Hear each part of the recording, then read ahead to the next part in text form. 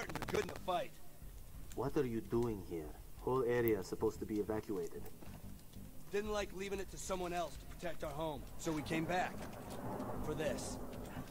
We have them hidden all over the territory. You know, this stuff is stolen.